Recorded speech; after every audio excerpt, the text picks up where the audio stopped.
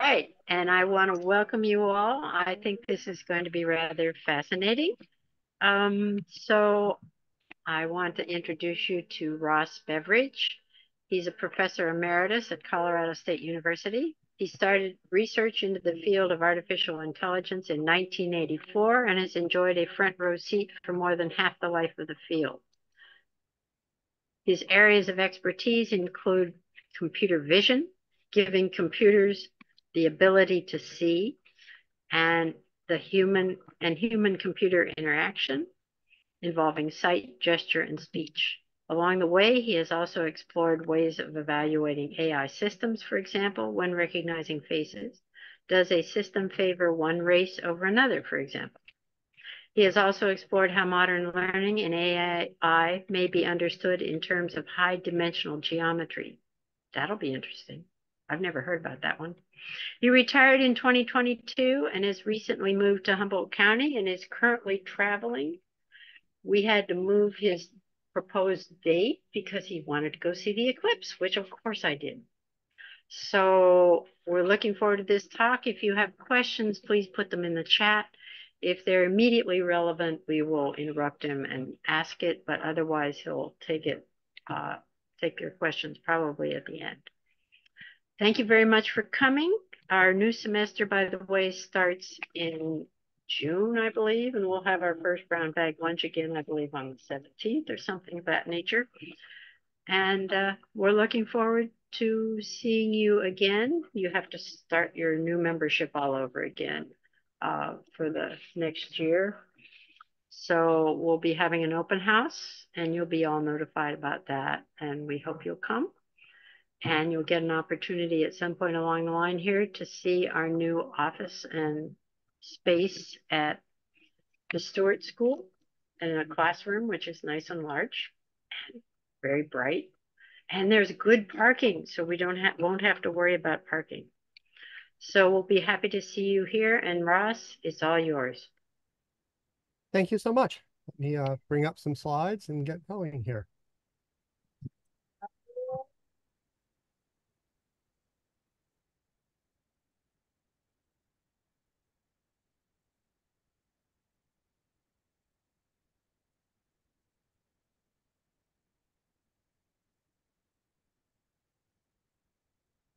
Well, it worked when we practiced. My apologies to everybody.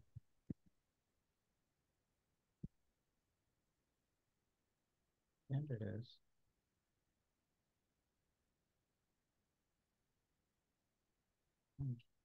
There we go. At least we're getting rolling. Trust the computer scientist not to know how to start a slideshow. Everyone's seeing my slides. Okay. Yes. Um, thank you very much for this opportunity. I realize this thing, it may be my first true post-retirement talk. And I'm kind of excited to have an audience that doesn't consist of a lot of um, people a lot like me with years of thinking too much about high dimensional geometry and artificial intelligence. Um, it's a field I happen to love, and that's going to come through. Um, and I'm going to do my best to sort of take excerpts of what I've seen over my career that I think are hopefully of interest to you. And I'm going to very much start with um, we're curious creatures. Um, and the point of this slide is to emphasize that I don't look at computers as somehow an unnatural, weird side show in the great human drama of becoming what it means to be smart, engaged, caring humans. I actually view it as one of the most natural outgrowths of being people. Um, we think hard about the world around us, and that includes thinking about us. Um, I did throw shamelessly the cover of Gödel Escher Bach into this slide, and Jane already was happy to see it. I read this before I ever went back to graduate school, and I just have to say, if you're interested in sort of thought and thinking and ideas, it's a wonderful book. So with that, my advancement's not working. That works. Okay. Um, I'm designing this as a reflection, things that, you know, I was born in 1957. So was the term artificial intelligence. It was actually a small group of people who gathered at Dartmouth Um, they're now sort of considered the founders of AI. Um, and everything that we look at today that goes by that name, much of it was envisioned back then. But now I want to take a right turn. Um, AI may only be less than a century old, but human beings have been storing knowledge for a long time. It's probably one of the most defining characteristics of what it means to be human. Um, I love the sentence, the book is a treasure trove of knowledge. That's a fascinating sentence because frankly, the book is a bunch of paper with stuff marks on it. But we don't see it that way. We see it as knowledge. And I'm going to come back to that. But because I very much like to see computer science, AI, and pretty much everything we do in a bit of a historical context, I'm going to shamelessly take us back a long way to uh, Lao Tzu and the Tao Te Ching. Um, I got introduced to this before I ever started studying AI, but when I started studying computer science deeply, what I really loved about the first four lines, and no, I haven't read the whole Tao Te Ching, Tao Te Ching well, but a book on knowledge that starts with a warning that says the spoken words aren't the thing they represent. The models that you form of reality aren't reality. That's an incredibly prescient warning for something over 2,000 years ago. And computer science is about symbols and the construction of models. And I just love the fact that I can go back this far in time and people have been smart for a very long time. So jar-breakingly fast forward to, oh, I don't know, the 1940s. Um, there's a million people one could point to when talking about artificial intelligence, but it's very hard to miss Alan Turing. Um, if you don't know about Alan Turing, um, I, it's a wonderful story. He was ridiculously brilliant. And as a mathematician, he's really the first person to conceptualize a machine that could take knowledge and act upon it. It had stored knowledge, but it could also do things with that knowledge and along the way create new things. It was part of how Britain one did not get invaded by Germany is that Turing and his team used it to um, crack the Enigma code. Um, but much more important, I think Turing can be seen as sort of the place where suddenly knowledge wasn't something that sat statically on a page for the eyes of people. It, it started to do things. Um, I also have to say that if you want a dark chapter in how evil humans can be over homophobia, you just have to read about the end of Turing's life. He was persecuted for his homosexuality instead of revered for helping save Britain in the war. I have to say that because it needs to be said.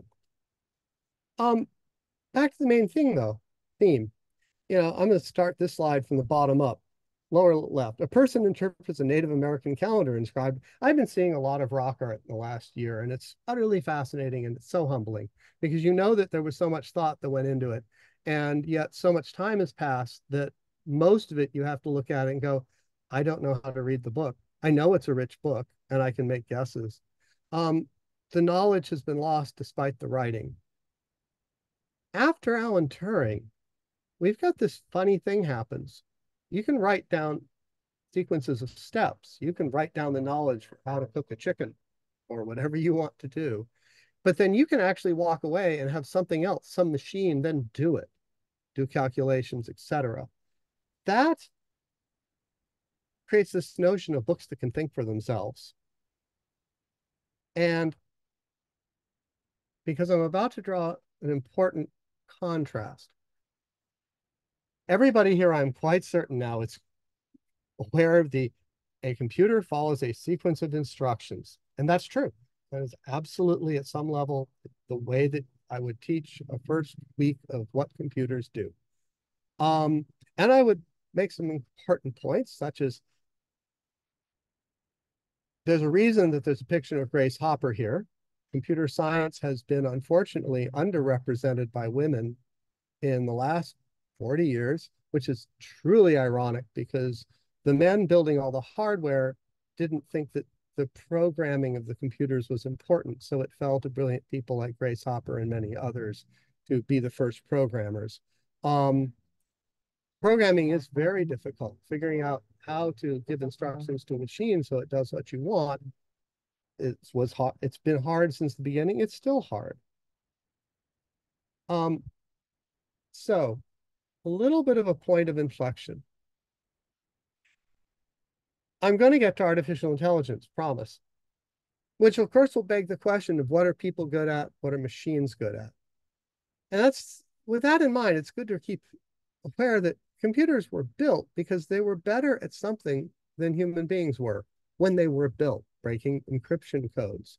Um, and they do have some really spooky properties like rote memorization. If you want to store the income tax returns of everyone in the United States, um, we don't blink an eye at the fact that a computer can do that. Um, if once upon a time arithmetic was deemed as something, you know, impressive when people could do it. Um, machines do arithmetic. It's it doesn't seem like near as much fun for people. I shouldn't say that for anyone who does Sudoku. Um, puzzles are still wonderful. Um, but machines are very good at those. Here's something they're not good at, and it's been my life's work. Um, when I entered graduate school in 1984, I wanted to study computer vision. And when I entered graduate school, computers were terrible at vision. If you showed a computer a, a picture and hoped that it would say something intelligent, well, you're going to be sorely disappointed. Um, this picture is right off my homepage at Colorado State University. It goes along with the story that in my essay to enter graduate school, I apparently wrote on paragraph paragraph on page two that said, I wanted to understand how we as people walking down a trail could see a squirrel on a log and we would just instantly go squirrel. Wasn't, I mean, no work, just happens. And by the way, no useful introspection. One of the first things that you learned as a computer vision researcher is stop making up made up reasons why you think you're able to recognize a squirrel. You can't know why you, you just do it. And it's an amazing capability. And when I entered the field, computers just weren't even close. We didn't even have a language to talk about doing it properly. Which leads me to pattern recognition versus traditional computing. And this is going to come back and play a really central role in the little bit I'm going to try to do to give you a glimpse as to how modern artificial intelligence works. Um, on the left there, traditional computing, picture of Grace Hopper writing an early program. It was an art and a science for a human being to lay out a series of instructions, one instruction after another to accomplish some task. And that was extraordinarily logical in the sense of do this, do that, do the following. No great surprise, people are curious and smart, and a whole different group of people were interested in something called pattern recognition. And pattern recognition behaves very differently. You basically have a whole set of inputs that arrive instantly, all the stimulus on your retina in the last half a second. And the goal is to come up with a conclusion. Squirrel. Um, I studied Gestalt psychology as a computer scientist in graduate school. It was wonderful. Um, Gestalt is a marvelous term for essentially getting to the essence of a complex pattern. And that's what we couldn't do well when I was in graduate school. We were flailing at it.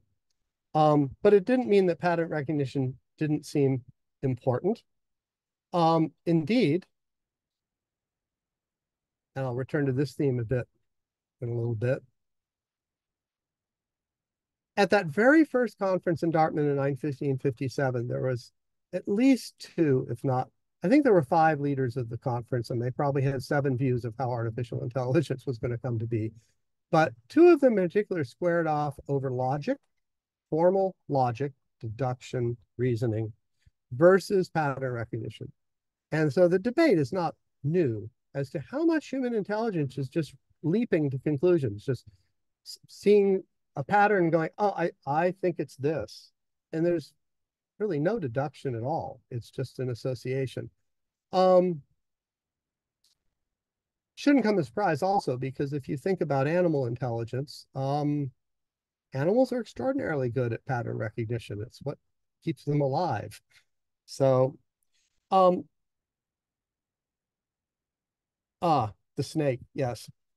If you are hiking, you've ever had this experience, if you really do start to step over a snake, you're going to be in motion. Your body will respond with an action before your frontal cortex comes up with a word. You, you, that's how fast pattern recognition is in animals. And fortunately, for that case, we have a good animal brain. So this takes us to, this could take us so many places. I'm going to take us to a book called Thinking Fast and Slow. Um, this is a nod to the fact that as someone who does artificial intelligence, I think of myself as living next door to cognitive science and psychology um, happily living next door because it doesn't make any sense to study an artificial thing if you don't understand the real thing in front of you. And I would conversely argue at this point in the game, you really don't study the real thing without having very complex models of what it might be doing. Enter artificial intelligence. The fields are extraordinarily intertwined now. One of the ideas that's come into the forefront is as complex as human thinking is, you can grossly simplify it, and it is in some ways a gross simplification, and say humans have two different ways of thinking, fast and slow. I wasn't originally in love with those two adjectives for it, but it's useful. Slow is what you're thinking of when you're doing a Sudoku puzzle. Slow is the little voice in your head. Well, if that really was a zebra and it really was driving a car, dot, you know, the, trying to puzzle out what that means. And by the way, you can all think about it. I have no idea how to end that one. It's almost like a joke, but that would be slow thinking. Fast thinking, the brain just leaps to a conclusion.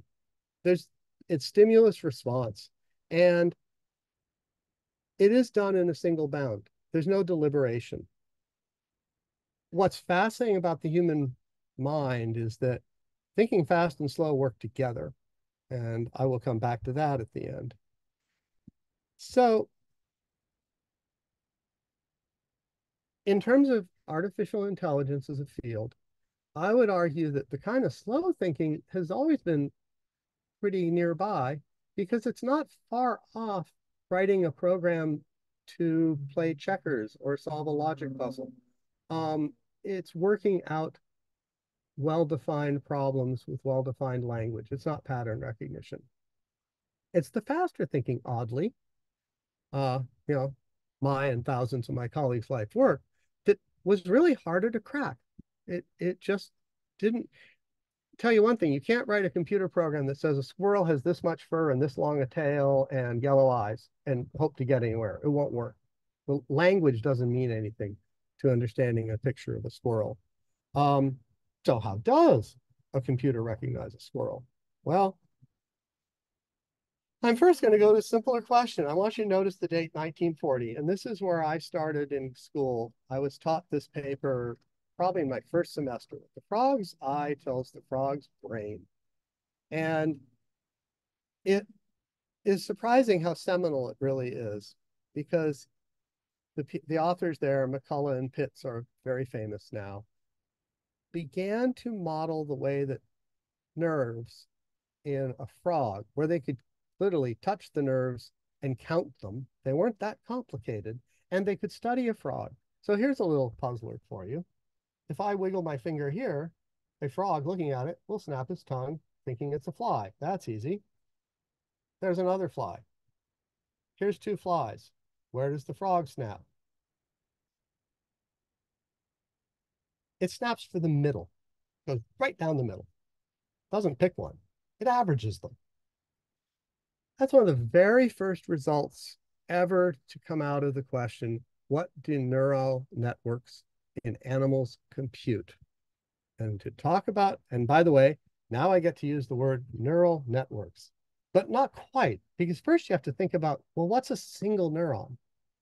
And if I were doing this in a formal uh, setting with people who study neurons day and night and publish in it, they'd have my hide for this. This is called the simplified version, but it's totally sufficient. So I'm sticking with it. There's something called a dendritic tree. It's what receives inputs from all the other neurons in the neighborhood. If there's enough excitation hitting that dendritic tree, if the voltage is hit above a threshold, then the axon fires. And it's a singular event. Once it's fired, it has to shut up for a while. It has to recharge. But it sends a signal down to the synapse there in the bottom. And presumably that synapse then reaches out and touches the dendrites of a lot of nerves downstream. We're now almost to a neural network. At least we got one neuron tapping the tree, the dendrites of the next in line. So what can you do with this? I mean, you can do you, me, and you can do you with that. That's what we know it's an existence proof. This is apparently sufficient for an awful lot. How it's sufficient has remained, I don't know, doggedly tough to work out. It didn't mean people didn't try. And you'll notice a theme in this talk about trying to get back to some basics, some basics that are now 60 years old plus. Um, Frank Rosenblatt invented a thing called a perceptron. And the perceptron was a device, it can now be just written as a computer program, that would take a whole series of inputs. Think about the stimulus on the retina of an artificial eye. And it would sweep it through about three layers of neurons, one layer connected to the next, connected to the next. And I desperately don't mean you to see all the fine print in the two figures here. What I need you to see is the gestalt. There's two different pictures here, and it shows information coming in on the left in a retina and going out on the right as in the case of an animal, raise your right arm, might be left arm, on the bottom, it's make a decision. Call this a call this an X. The point of the seeing the picture is notice the similarity. In 1960, it was unabashedly the case that people were going, we need to emulate the way neurons do computation if we're going to solve pattern recognition problem problems. Um, it's not quite James Bond. Shaken, not stirred. Trained, not programmed. Um, there's a series of high points that, that in a short brown bag lunch, I really do hope to give you a feel for. Programming is a human being sitting down inventing all the steps. In the case of an artificial neural network, like that early perceptron, in that early perceptron, there are over 200,000 possible connections between nerves. And each of those connections has to have a strength. And by the way, we allow for negative strengths. Not only can you excite your downstream, you can suppress it. So imagine trying to come up with off the top of your head 100,000 numbers between minus one and one so that this machine would do something useful. Well, there's something human beings can't do. It's just impossible. And it was impossible in 1960. So from the very beginning, there was this absolutely essential idea that you train a complex system to do pattern recognition. You don't write it from scratch to do pattern recognition. You're not smart enough. You don't have enough information. It, it's so wildly beyond any human being's ability that you instead substitute an idea, which is training. And here's, by the way, the early picture of a perceptron being trained. You'll never guess what letter it is trying to recognize. It's a C. Um, I love the fact that in those days it was literally this painstaking. Show it one letter. The network makes a choice. Maybe you just assigned random connections between the nerves. You probably did. If the choice is correct, you tell it it's correct. If the choice is wrong, you tell it it's wrong. The network has a learning rule that goes with it, some component that lets it adjust the neural connections and adjust them a little bit and ask for the next letter, and off you go and off you go, and off you go, hundreds of thousands of times. They can become incredibly capable by just repeated exposure to a trained training example. That so anytime in this lecture that I talk about training, have this model in mind and realize that with modern computers and modern memories, showing something 5 million examples repeatedly is something I do on my laptop in the middle of a lecture. So we, we've come a long way in terms of quantity, but the fundamental idea of learning off labeled data is essential. So now I'm going to jump forward 2024. I'm retired. My work is done. How does a machine learn to see? Well, that neural network that had maybe two layers, often it's 50 layers deep. By the way, in a human being, it's estimated to be about eight layers deep. Visual cortex is at the back of our brains. Retinas, of course, are at the front. Um, it's astonishing how few layers of neural connections there are between um, the retinal input and a decision. Um, but our machines seems it's been easier to give them more layers. And there's 60 million different weights. Those are places where you have to decide how much this neuron talks to the next neuron. Um, what's training? 14 million is considered a small example set. Why does Google love to have lots of labeled data? Why does Google like to upload your photos and store them for free? If it can get a hold of the identification of those images, it can continue to train and it is constantly training. They're building better and better models for doing object recognition, and they're by no means the only one. I mean, iNaturalist is getting better and better at flowers. All of these things involve training. And probably the last two lines in the slide are the one I get most hit by my friends. Everything we've done has in some ways been detail. Now, there's a huge amount of detail in how weights are adjusted, how training is done, but you already now have in your mind, I hope, the really essential idea that how do these pattern recognition machines learn to come up with associations of inputs and outputs? It's by just being repeatedly shown lots of examples with answers.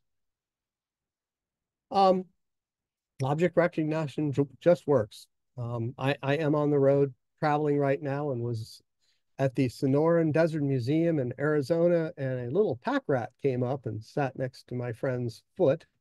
Um, so I took a picture of the pack rat which means Google's never seen this image before. For this talk, I uploaded the picture and asked image.google.com what it was looking at, and it had no trouble. It showed me white-toothed wood rat, which is wrong. Showed me a pat rat. That's actually the correct answer, but the fact that it's giving me a rat is pretty astonishing. Um, object recognition will continue to get better, but you know, when I entered graduate school, something that's impossible is now a, fun thing to do with Google or iNaturalist or wherever you choose to play with object recognition.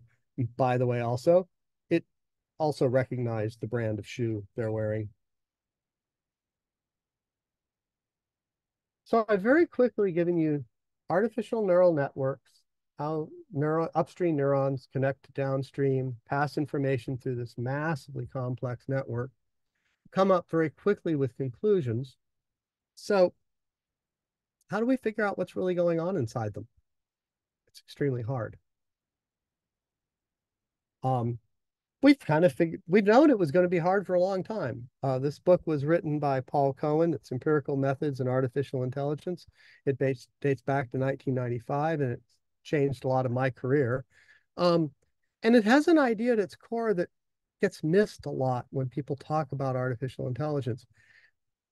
We build them um, we don't know exact. We don't know what's going on inside. Let's be very clear. Now, I wanted to be careful with the slide. You know, the fundamental is how much can we predict the behavior of an artificially intelligent machine? That's kind of an important question. Well, at one level, a whole lot.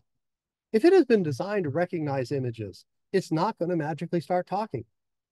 That kind of artificial that's science fiction on steroids. We're not there yet. We're i doubt we'll ever be there per se. Um you know when we build these ais we as human beings define the space of what they get as inputs the space of what they can do as outputs. So you don't get things that are just wildly crazy. They don't go off and have conversations on their own with their friends. They don't have friends but the models that they build in order to solve the problems that they're solving are, are just not, you can't look at the weights in a network and make sense of it.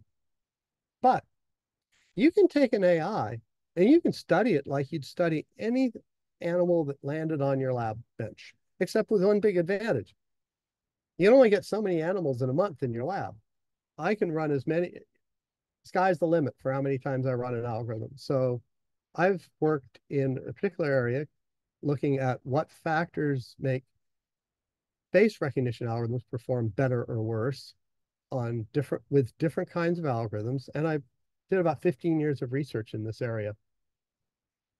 And I'm not going to tell you about all the research, but there's a couple of things I do want you to think about because you'll see it in the press and it's important.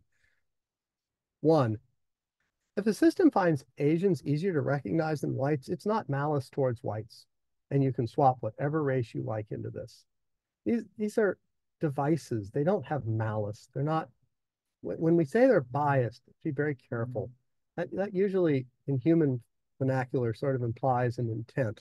There's no intent. It's doing what it was trained. It did the best it could with its training.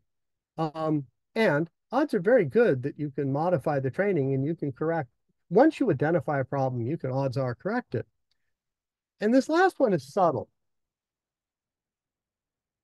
If we've learned something else from psychology, it's that because most of us do a lot of pattern recognition subconsciously and barely consciously, we all carry implicit biases. It's just not, you, you don't get to be a thinking human being without them.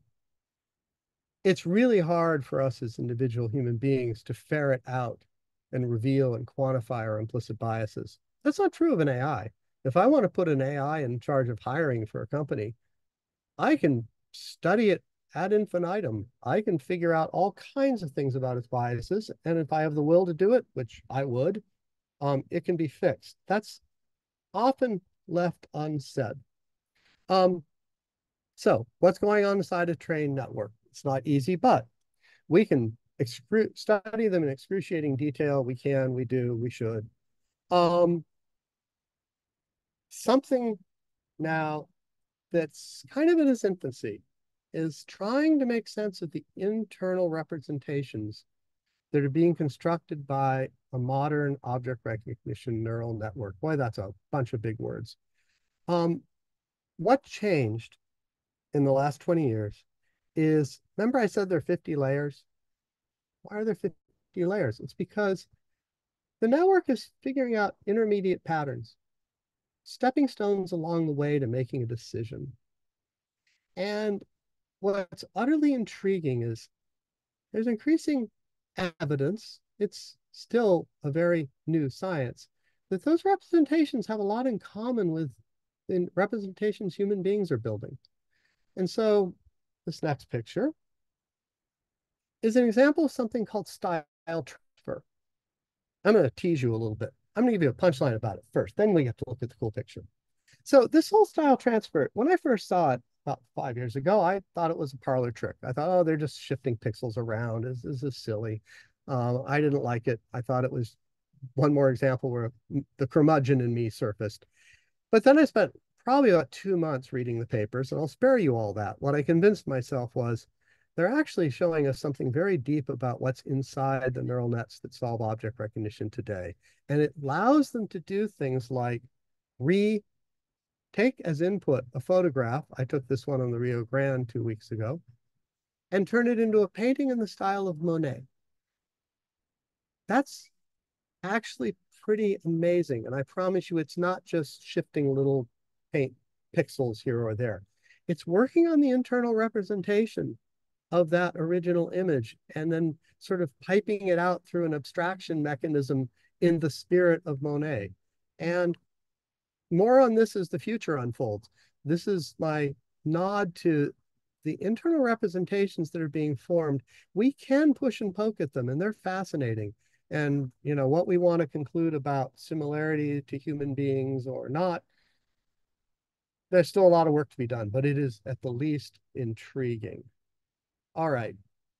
So, sort of wrapping up the pattern recognition part, this whole ability to go to for instance, think in pictures. I have to plug Temple Grandin. If you've not read Temple Grandin's books, I strongly recommend Thinking in Pictures, Animals Make Us Human.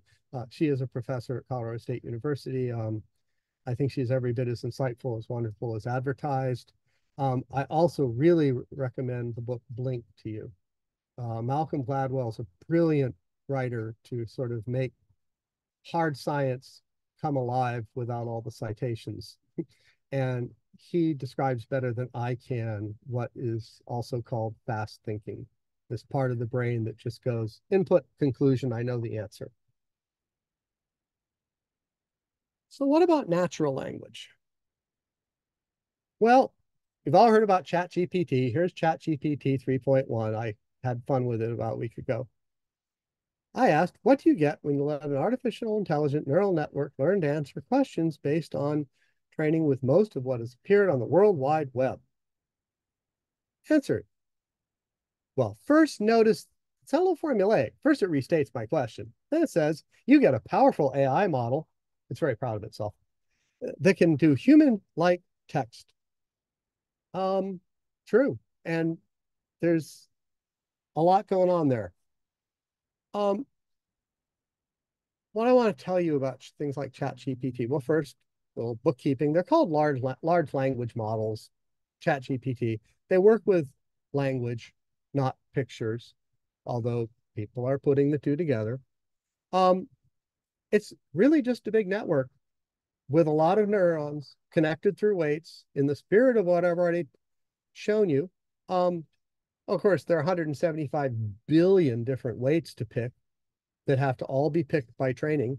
And it's shown some sizable chunk of what's on the World Wide Web in the in English. By the way, it's also part of it I read is now converted to Icelandic. Um, and it creates um,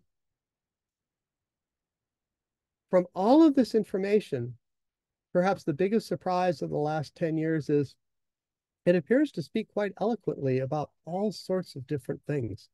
And so it is every bit the monumental change that people have sort of thought it was. This changes the game for not only do we have object recognition, we've got something that you can ask it a question or discuss something with it and it sure starts to feel like you're talking to another person, but a person with access to most of what was written on the internet. So we all now get to figure out what it means to go forward with something like this. But I also have a particular point that I want to give you about the fact that perhaps G ChatGPT thinks a little bit too much like a person. Um, I love peanuts. I hope a lot of my audience loves peanuts. Um, I'm certainly hope you know that Linus is Lucy's little brother and that Sally is Charlie Brown's little brother. This seems pretty straightforward. So let's give ChatGPT a go. Uh, please tell me about the Peanuts character Charlie Brown. Let's say that I'm in second grade and I have to write an essay for second grade. ChatGPT is going to write a good essay. Um, nothing wrong with this. It's all pretty straightforward. So Wow. We're there, aren't we? Okay. Hey, ChatGPT, tell me about Charlie Brown's siblings. Well, Charlie Brown has two siblings, Sally Brown and an unnamed sister, denoted my illustration with a question mark. I couldn't really figure out if that's true. The internet isn't strong enough, and I don't have the kind of memory to remember one strip where maybe there was an unnamed sister. I can't tell. It's a little bit odd, but I'm willing to sort of let it slide. Certainly it got the Sally part right. Life's good. Who is Linus in the Peanuts comics? Linus is Lucy Van Pelt's younger brother. Oh, we're we're doing great here. We've achieved general intelligence. Yippee. Tell me about Charlie Brown's little brother. Charlie Brown's little brother is named Linus Van Pelt oops, or to quote Charlie Brown, good grief. Um, some ways I can't make this stuff up. I was delighted when I stumbled across this playing with ChatGPT because I think it makes a lot of points all at once. Um, it clearly doesn't really understand what it said before or siblings. And it gets better because does Charlie Brown have a little brother? Well, apparently they've been trying to get ChatGPT to, you know, pay attention to what you asked before. So this is the first time I've ever got an apology from an AI. Apologies for the confusion. In fact, I'm going to read it from the next slide. Apologies for the confusion. Charlie Brown does not have a little brother in Charles Schulz's Peanuts comic, comic strip. He is an only child in the series. However, he does have a younger sister named Sally Brown. And people ask me if I'm worried about the robots taking over. Ross, I have a question. Yes. What do you do to avoid filling it full of disinformation to teach? How can you teach it or can you teach it to discriminate facts versus alternative facts? And how do you get it to do what it just did with this one and not the first time it gave you a response? Why didn't it identify that that was a problem before? Let me repeat the question. How do you get something like Chat GPT to discriminate facts from misinformation? Is that a fair summary? Yes. It's extremely difficult. Um, and I please get me back to that question, but it's actually going to come up in about the next. Um, well, in fact, it's the bottom of this slide. So. Okay, I see. The short answer is you cannot easily. It's not how Chat GPT works. It's not how a neural net works. Um, part of what I'm trying to get convey in a short time is people, for example, worry that these systems are just repeating what they read in one article. That is absolutely not true. What's fascinating about something like Chat GPT is it read everything and it threw it into this giant mishmash, a lot like a brain, where it associates stuff. And then it can turn around and use those associations to cough up quick responses, thinking fast. It has no ability to know whether what it just coughed up actually makes sense. It doesn't have a backup model. All it has is that ability to just end run to, well, here's something that sounds good. So I think now I can answer the question. Um, it's monumentally difficult. It's part of why we're not there yet for anything that would look like artificial intelligence that we as human beings would be thoroughly satisfied with because a human being any adult would have been embarrassed to pieces if it had given you the three sentence I'm showing on the top of the slide. And yet, I promise you, if there was an easy way for OpenAI to fix this, they would. And by the way, there's lots of patches. There are band-aids all over something like ChatGPT to catch things like this, but which are offensive. So you can invest a human amount of energy putting duct tape over all the places it makes mistakes, but fixing its internal way of thinking is extraordinarily difficult. Okay, I hope that answered that question. Yeah, I have another question. Does yeah. it um are we working on teaching it to think slowly? I, I invited that question. I'm sure someone is. If I was 28 years old and starting out as an assistant professor, that's what I would be working on right now. I would uh-huh. be working on the interface between fast and slow thinking because as I, I've, I basically tipped off, tipped my hand to this the way I designed the talk. You know, deductive logical reasoning is something a computer can do instinctively. It's the language it's built in. So I don't see a fundamental problem ever bringing the two together. But let's go back to that 175 billion network place you go to find you got link. you you got halted restart that sentence oh. go back to um it's easy to do the slow thinking for example planning if you look at how modern corporations do planning they use planning algorithms that are very good slow thinkers and they come up with optimal plans. I mean, we see that all the time. Google gives you a route. Yes, it makes mistakes, but it's astonishing how well it does most of the time. The slow working out of sequences of steps is mainstream. But where I probably got interrupted is there are 175 billion weights between neurons inside ChatGPT. Which neuron is responsible for making the mistake about Linus? And why, when I change the input slightly, does it change its mistake? That's almost unfathomably difficult. And I suspect the next generation of AI researchers are going to be working on exactly that. How do we start? You know, human beings do have this fascinating ability for slow thinking to rewrite what the fast thinking does. And I, I'm an optimist. You're an optimist about these things getting better. We'll probably learn how to do this, but it's not going to come in the next year. Okay, I hope that helped. Thank you. The next year is soon. What about, is it really likely in the next year? Are we talking five years or what, what are we Oh, looking at? I think fast and slow thinking is 20 to 100 years out. I think it's much harder than we're giving it credit. That's what I thought. Okay, thank you. So I have a few takeaway messages as I'm wrapping up. Um, when I entered graduate school, I don't think we had a clue what was going on between the retina and visual cortex. It just seemed like we all were magic, which was cool. We're not magic. We can now build things that do exactly what we do in terms of object recognition. Um, and it's all that's generalized. Um, the fact that skill comes through extensive training. By the way, to be clear, I'm telling you here in bullets things that I hope that when you walk away from this lecture tomorrow, you'll go, I think he taught, said something about object recognition is a solved problem, etc. Uh, large language models, ChatGPT, they do know a lot. They write better than me on a bad day. It, it is a little spooky what they're good at, but I hope I've driven home to you just how deeply confused they can become and how that's not just a six month fix. It's fundamental, it's endemic to what they're doing. A few more things that come up. Uh, I often get asked about the robot apocalypse, and the only way to get shot in your sleep by a robot is to give it a gun. And among the roboticists I personally know, that's considered a really bad idea. All right.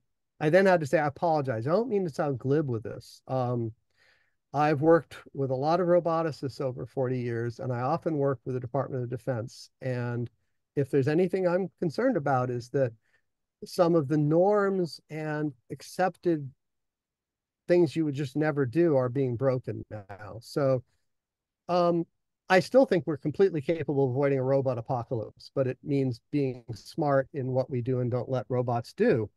Um, and this is something I've heard very few people talk about. So it's coming straight from me, and I'm sorry if it seems a little half baked, but I think it's important to know where the off switches are. As we go forward with AI, the current technologies we have need off switches that I can get control of. Um, and it's going to get stronger with AI. Basically, don't make a machine you cannot turn off. And if turning it off is going to cost you so dearly that you're reluctant to turn it off, go back to square one and think about what kind of a machine you built and what kind of a system you were building where you needed it like that. Um, and I don't think this is being adequately followed. And particularly, um, who gets to turn off the switches? Uh, we're not in a very good place right now. We as we as the consumers of these amazing devices very seldom have sufficient access to the on-off switches. Um, and apologies, small is beautiful, but just the connection on demand is better. Um, will my job go away? Um, this one's hard. Yes, a lot of jobs are a lot of jobs are going to change profoundly. And I'm going to before I even go back to AI, we're already there. I mean, we've been there the, since the Industrial Revolution and probably long before. We as human beings are curious creatures. We keep trying to invent new ways to do things. And every time we invent a new way to do things, well, it changes everything. Writing changed what it meant to be an educated, intelligent human being. Spoken language before that changed what it meant to be a thinking human being. We now have knowledge that thinks, that does, that thinks for itself. That's going to change everything. But even the internet, the internet's pretty amazing. What's the average weight of a wombat? You know, Google it. You could come up with the answer to that in 15 seconds. I have students do that in classes. Um, the notion that you should keep a lot of facts in your head just for the sake of keeping them, that's dead and gone. That died in the last 15 years. But it's been replaced by something much more subtle. All of us have to have enough knowledge to formulate a useful query. That's really what knowledge means now. You know, because you're not going to beat Google for breadth of knowledge but you somehow have to know enough to ask the right question and you have to have the sense to spot the right answer when it comes back and i think those are if anything the highest aspiration of human you know if i'm a positive positive about things that's the good news that's where we're going to have no lack of challenges because that's what education has to be about is satisfying those two things um and about changing jobs. If you'd love to fill out forms, please raise your hand. You don't need to do it. I'm not expecting a lot. Um, there's one form of AI I really cannot wait to see deployed soon enough. Um, I my daughter's actually just been accepted to medical school, so I'm not slamming doctors. And yes, I'm shamelessly bragging. Um, modern medical examination protocols demand trained people to split their attention between me, the patient, and a laptop. Is ludicrous.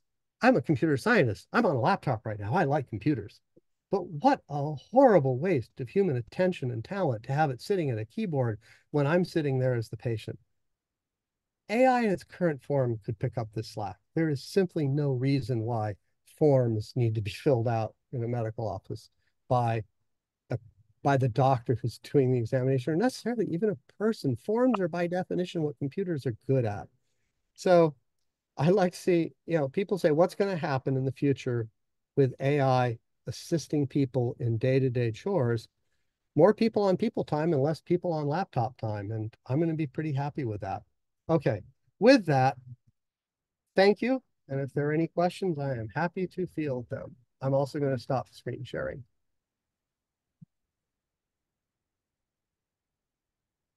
Um, how, what are the main fears regarding AI and are they realistic? Do, how do we teach them ethics or morality? Are the fears founded? I'll do the first part. No, the fears are mostly overblown right now. As someone in the field, and by the way, let's be clear. I think we're talking about the fields where AI somehow all band together one night and take control of the internet and we wake up as slaves. Um, that's just not going to happen. um, fear that they're going to disrupt and destroy the systems we've built them to, to maintain. Oh, I don't know, the world online banking system. No, we're not, we're fortunately not that stupid when there's that much money on the line. And that point about off switches and thinking hard about inputs and outputs and what really can and can't be controlled, uh, I'm not worried about that. Um, teaching them ethics, that's, I, I put that one off. I'm not even sure how that works. We can treat, we can train them to behave in ways that meet some standards that we have. For example, um, avoiding racial bias in programs that make decisions about, oh, hiring. We don't have to teach them ethics. They don't have to necessarily understand the ethics, but we certainly make sure that the systems that we use are behaving ethically because we can simply look at what they do and make sure that they do. Teaching ethics so that it could actually turn around and explain ethics to me, that's hard. Other questions? Can AI help people who are blind? Oh, absolutely. Um, I, I actually wanted to work at this at one point. And by the way, I don't know this field. So I'm I'm I'm making wild guesses here, but something as simple as eyeglasses that give an audio translation of what is directly in front of you. I I expected it to be a product 10 years ago because, again, I'm a technical optimist and I don't know if you can buy it today. But if you can't buy it today, you sure ought to be able to, and it's just a matter of time. Okay, how do we train young people how to address current AI challenges and how to think about these challenges? Are we doing it and at what levels? High school, junior high, grade school, college, obviously. Oh, how much time do I have? Um, well, you have another half hour. okay, let me. Well, it's probably a good time to do a slight plug. The last thing that I did as a researcher is I was one of National Science. I was a co-principal investigator on a National Science Foundation Institute on artificial intelligence and K through 12 education. So I've thought a lot about related questions of AI in education. And the question's slightly different. How do we teach you know, K through 12 and college to work with AIs and to do it productively. Um, a lot of the basics. Learn to think critically, learn to think independently, learn to never take at face value something that an AI tells you. And by the way, probably don't take at face value something only one person tells you or that you read on the internet. Learn the skills of what it means to push for a real answer as opposed to how to quickly get the answer. Um, there's nothing, by the way, everything I just said is recorded. There is nothing surprising in what I just said. Um, the next one's also not terribly surprising, but I think it's getting lost. There's the initial reaction to ChatGPT among my professor friends was fascinating, and it split about 50 50. Uh, about 50% said, if you dare use ChatGPT in any part of this assignment, I will expel you from the school for cheating or do whatever I can to make your life miserable. The other half said, your first draft will be the ChatGPT responses you got. Your second draft will be yours. I like the second approach better because it's accepting the inevitable. Um, I don't know many people, too many young people I know who are smart are already using these tools. Um, and they're using them correctly um, they're using them to sort of get that blank page filled with something. And then realizing, and it's, and I'm totally cool with it. If what happens then is you've now basically got an accelerated learning program on, on what it means to take an essay full of mistake, full of possible mistakes and possible awkward, obvious, wandering parts that don't belong and turn it into something that a human being would really like to read. That's another aspect of answering it. Um, I'm going to leave it there. I don't know that I fully did that question adequately, but oh, I'm not getting your sound. Are we just dealing with this at the collegiate level or are we starting earlier? Are we trying to deal with elementary and junior high and high school teachers on all these issues, or is it getting lost in the shovel shuffle? I'm not qualified to answer that question. Um, I I have so much respect for the people who are still doing the work K through 12 every day. It's an incredibly hard job. One of my best friends is now a retired school teacher from fourth grade. And I look at how hard she worked and how hard I worked, and it's not fair. you know, she worked harder than I did. Um, and it's not that I didn't work hard. Um, is it being given short shrift? Probably. That we have a chronic issue. Let's call it direct. We have not paid school teachers enough to get a person like me to teach in K through 12 for my entire lifetime. If you're mm-hmm. good with computers, the only reason you're in K through 12 is because you made a very conscious decision to forsake perhaps four times as much income per year.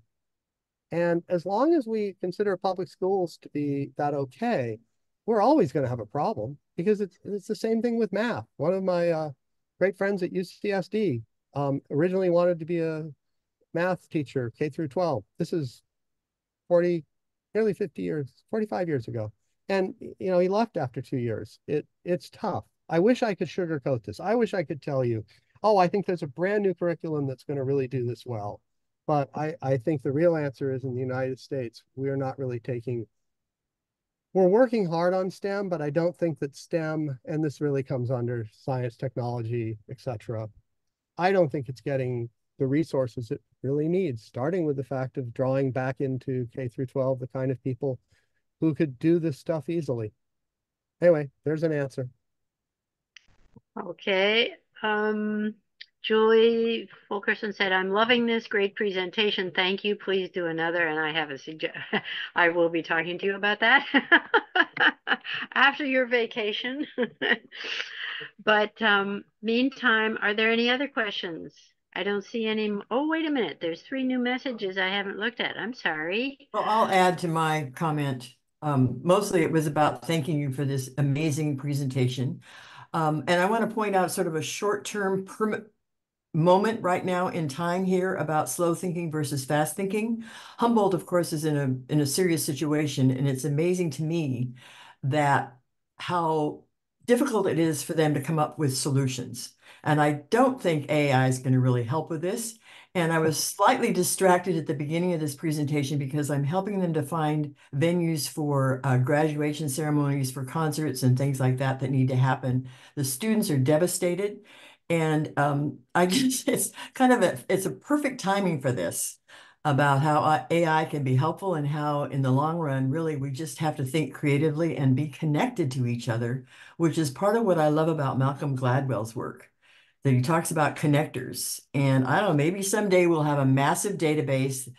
But I, I mean, for example, I know where the pianos are where the students who need to practice can practice right now because they have um, performance juries coming up and they're freaking out. And I think every day, everyone in this group here is probably solving problems for the community in the moment. And uh, I just, I love this. Have more of these and also add that sort of like, how does the brain really work? I love yeah. that. That's, I'm not a science person at all. But I learned from uh, someone years ago who said the brain cannot reject a question, but can reject a fact. And, and we have lots of examples of people ignoring and disputing facts, but there's lots of times we have to still keep asking the questions to keep ourselves fresh. So thanks so much. I love this.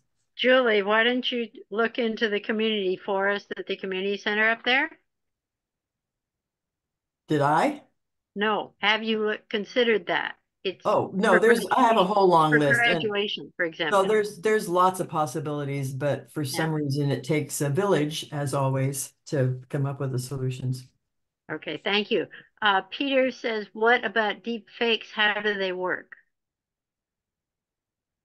What about deep fakes and how do they work? I showed you that I could take a picture that I took and re render it as though Monet painted it if I can do that, I can do all kinds of things. Um,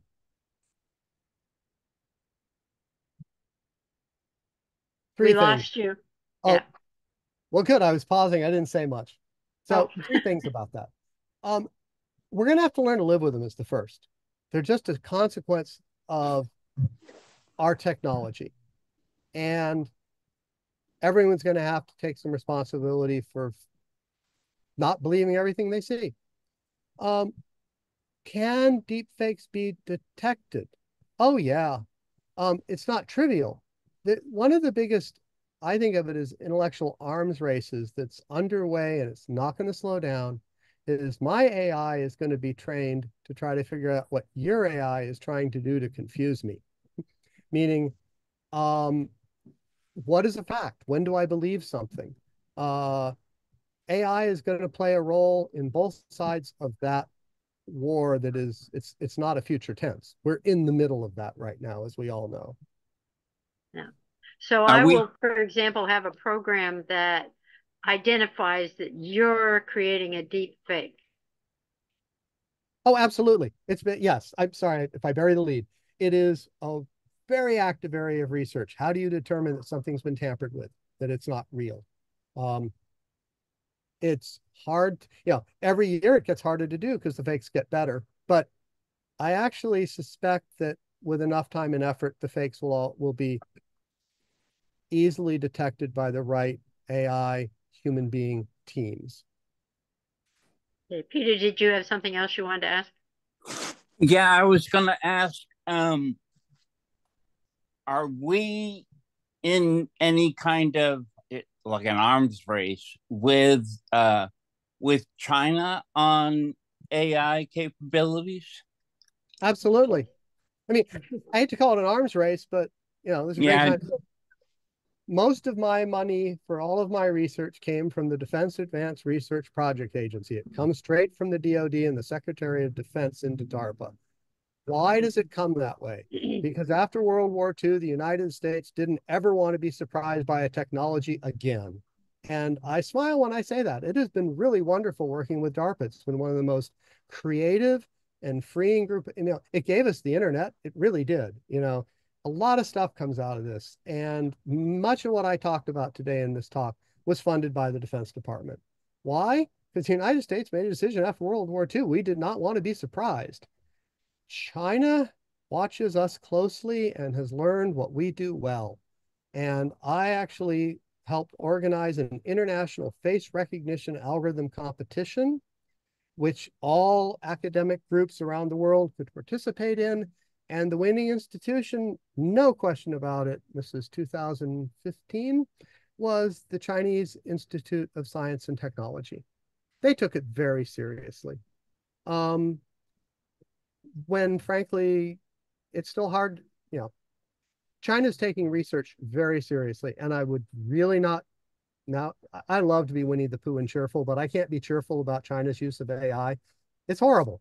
You know, if you want to look for a dystopian image of what face recognition and AI and social media is going to look like in a society that's abusing it to centralize power and control, you just have to look at China. It's scary. So while I have lovely colleagues, scholars in China who I talked to, um, yeah, I don't know if I call it an arms race, but it sure represents two very fundamental different approaches to technology. And it's scary to me a bit. They used it during the pandemic to keep people from going places they didn't want them to go, let alone Absolutely. even out of their apartments. What do you think about brain brain computer interface work? Oh, I don't want one. you don't want to be augmented? No, I think that Patrick Stewart and as Picard did a pretty good job of talking me out of that idea. Um, I, it's like everything else. No, I mean, having said I don't want it, there's going to be some strange health conditions where it's going to make sense and where I would be I would be loath to deny it under some circumstances. But let's go back to my comment about know where the off switch always know where the off switch is. Always have make sure you have an off switch, that you have enough off switches to control the AI that you seem to be so dependent on. That's going to get so dicey if it's inside your brain. So I don't really know how that works, and I'm highly nervous and skeptical. Is there, uh, Barbara asks, is there a chat program that will give an answer and then other possible answers? Like a list of possible answers? yes. Graded by quality? um, well, first off, I'm not really that, I retired two years ago and a lot of this stuff happened the last two years, but yes, reading between the lines of things I did to prepare for this talk, uh, ChatGPT has some debugging modes that the developers have, and they can basically ask ChatGPT what its next answer would be, for example, and why it didn't give it. Um, now, its explanation of why it didn't give it is pretty mealy mouthed. It's it's kind of like, well, because it wasn't because the probability you wanted me to say that was 0.7 and the one I gave you was 0.75. It, it it's not deeply reasoned, but but yes, the short answer so is it's based on probabilities. Um yeah. Kind of. Mm. I, hand wave, hand wave. Sure. It's based on these programs are trained to try to get an answer that matches the labeled training data or the expectation as often as possible. Which leads to another thing. They, they're kind of by nature bland, which is something that's going to get more and more obvious as they become more and more used. They, they're, they're looking for a safe response that matches what would most likely have come next. And in that sense, yes, the most probable. Safe. That's an interesting word to use. Safe response. Safe. Huh? Safe for Safe them. for them. They don't get they don't get slapped for doing the wrong answer. Oh, do they get slapped? That's what tra- yeah, that's slapped? how training works. Training. Huh? Um, when they're training these things, they're perfectly capable of saying that's a wrong answer and it will go adjust its weights. Oh, that's interesting. Okay. That's part of the training.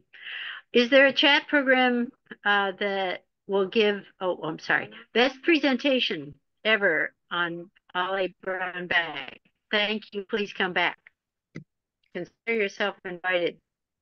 Thank you. I'll send you the proposal form again. we love it. Um, Kate Hitt says, I publish literature and I'm asked by the Library of Congress and Copyright Office if I am using AI. Just to let you know, AI cannot apply. I love it. I, that, that's actually a wonderful observation. And, you know, it's no great surprise. One of the things I see coming, AIs can't have the same rights as us people. And, you know, and I'm not going to get suckered into the don't you feel sorry for the poor AIs and, you know, aren't we treating them like second class? No, they're AIs. And, you know, one of the classics is I don't feel like an AI has a right to phone me on my cell phone. That, that just strikes me as a, there are not a lot of rules I want to put in place, but that's one of them. And yeah, I just course. wait. The, the, the current uh, Supreme Court may decide it's people. It's a Yeah. person, has rights to vote. Wait. and donate. Sorry. Oh, no, I, I, I followed you. Yeah, hope not. Any other questions from anybody? Speak now or forever hold your peace. Um, I, I'm, I'm going to say one thing. Bob, I loved your question. I've written a five paragraph answer. And next time we go for a walk on the beach, we can talk about it. One of my friends here gave me a very good series of questions, but I don't think we have time. We do. It's We- you got 15 minutes. Um, you're the moderator, Jane. Do you want to touch that or not? Well, go go for it. Okay, let me shorten. Um, so my friend Bob said, in the 21st century, we have seen technology change the speed at the speed of almost light, while humans change at the speed of sociology, which is a lovely sentence. Thus, tremendous unintended consequences have occurred from. These are increased suicide rates, disruption of our attempts at democracy. I think of AI as like our old tech, but on steroids. Yes. Uh, there's no safety testing on the human outcomes from new technology. Just because we can do it does not mean we should or that we should let necessarily others profit. And I'm sorry, Bob, I did not read it verbatim, but I was pretty close. Um, and so, yeah, I actually spent time thinking about it. There's th that rate. There's a lot to unpack there. Um,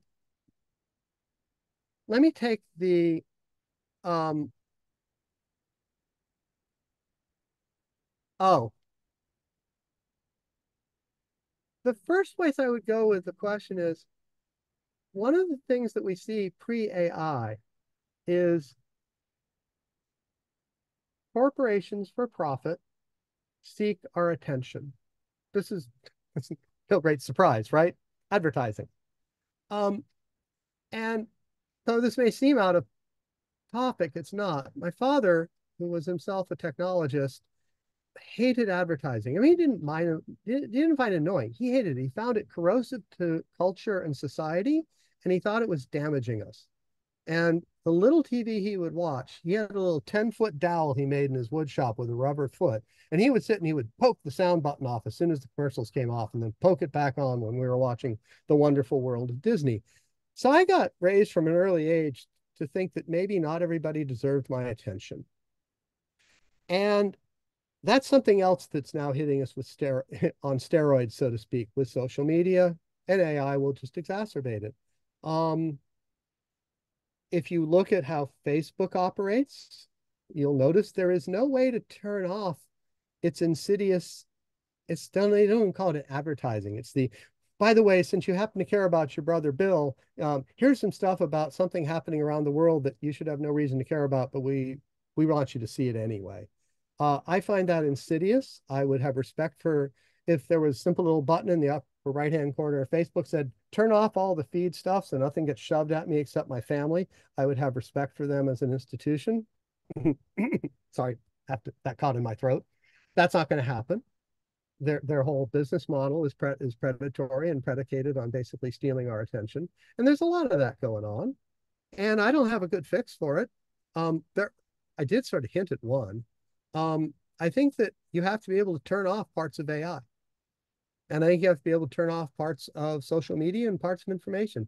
I should be able to have filters in place. And also, I don't usually like laws, but if someone is feeding me information, if my AI agent, if my I have a personal assistant that's an AI, and it suddenly tells me to go eat here, if it's being paid, or the person who made it's being paid to tell me that, that's law. We need law that says I'm sorry, that that that just can't come out of the mouth of the same agent. It has to change voice. It has to turn into the PT Barnum salesman voice. Hi, I'm I'm going to tell you to go get a burger. You know, make a fool of itself, but it can't mix what it's doing seriously with what it's doing commercially. There has to be a way of distinguishing. So there's one, Bob. I don't know if you saw that coming, um, but that's under who's selling what to who. Um, you also asked about suicide rates going up, so I went and looked at it. And it's a perfect case study in how we use the internet. Are suicide rates going up in teenagers? How does one answer that question? I didn't ask ChatGPT, I promise you. You know, it, it took some Googling and we all, this gets back to the K through 12 teaching people, you know, it's not easy knowing where to go on the internet to trust what you read. Um, on this one, I went to some statistics journals and I went to a .gov for uh, National Institutes of Health. Absolutely, suicide rates have gone up a bit. I then cheated and asked a friend of mine, who's a colleague who's quite knowledgeable about this, and he said, uh, "Yeah, they've gone from about 10 in 100,000 to about 14 in 100,000, and it's probably got something to do with social media." Of course, then he gave me a pointer to a very complex paper that says, here's an interesting little thing scientists don't understand. They can find no, they can find an association between whether a teenager has ever been on social media and increased suicide rate.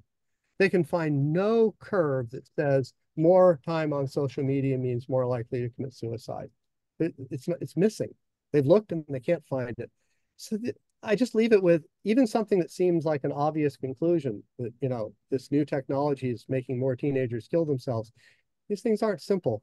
And last but not least, um,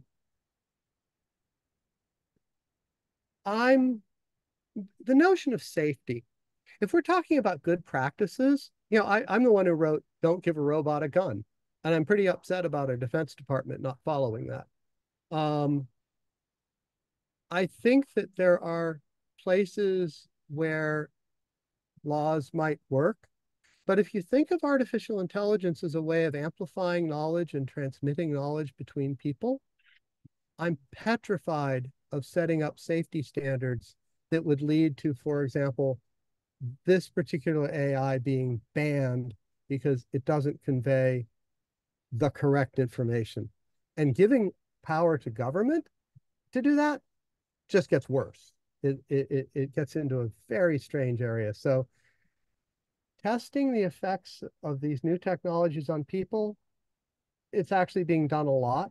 A lot of my last five years of research was setting up experiments with people, working with systems to see how they would react to this versus that. We, we can study all these things. Giving the force of law to saying this technology is not safe, unless it involves a physical device that can do physical harm, if it involves knowledge, speech, facts, not facts, my facts, your facts, I don't want to give that power to government. So there's my short short answer to Bob's question. Thank you so much. Are there any other questions anybody wants to pop on us? Annie Reed says, thank you for an excellent informative presentation. And I thank you for taking time on your vacation to do prep prep for this and do this. It was wonderful, very helpful, and we would like to invite you to come back. So feel free to put together another one. Meantime, next Monday on May 6th, Louisa Rogers will be talking about creativity at any age. She took a watercolor class at age 30, didn't pick up a paintbrush for another 40 years, and now she paints often and has developed a non-traditional artistic style that is uniquely her own. In this slideshow presentation, she'll offer suggestions for how to discover your personal style, whatever form of expression you pursue, not just art. So we look forward to your coming back. Louisa is very entertaining, very smart, very much fun. So we hope you'll come back and join us again and wish Ross a wonderful trip. Thank okay. you, Jane, for doing this for us. We really appreciate it. Well, I thank Ross for doing Yes, thank you, Ross. Joanne told me she had this fascinating new neighbor. Mm-hmm. And it's like, thank you. I got on the phone immediately. so if anybody else has suggestions like that, I am putting together the talks for the summer. Feel free to get in touch with me right away. I have to get it done this week. Thank so you, Jane. Will you're do. most welcome. Look forward to seeing you all next week and certainly at OLLI classes. All right? Thank you. Have fun. Have a great week.